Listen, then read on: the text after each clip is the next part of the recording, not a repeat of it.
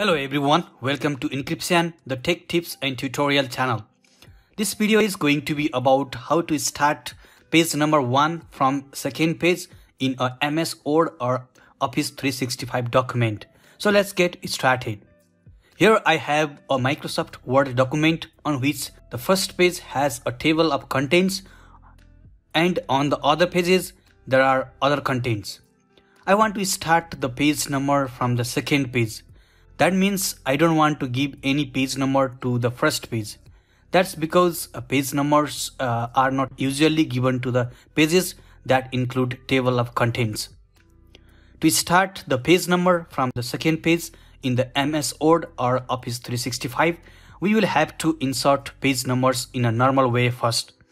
For that, click on the Insert menu, click on the page number drop down, select where you want to place the page numbers, that is on the top of the page or on the bottom of the page. Usually page numbers are placed on the bottom and on the center of the page.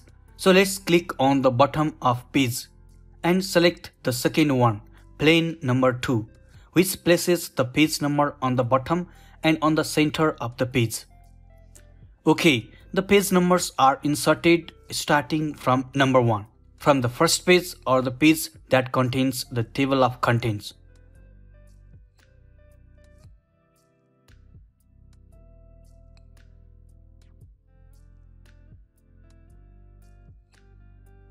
Now to start the page number from the second page, click on this a different first page checkbox.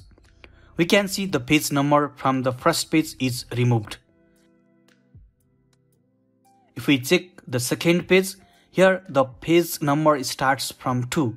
But we want the page number start with the number 1 on the second page. For this, click on the close header and footer or click anywhere out of the page. Then click on the insert menu. Click on the page number and click on the format page number. Here on the bottom under the page numbering option, click on start it. Set the value to 0 and click on the OK button. That's all. We can see there is no page number on the first page and the page number is starting with number 1 on the second page.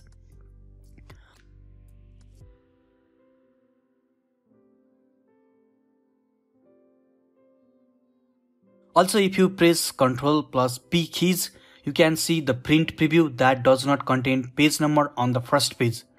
This verifies that even when you print this document, the page number will not be printed on the first page and the page number 1 will start from the second page.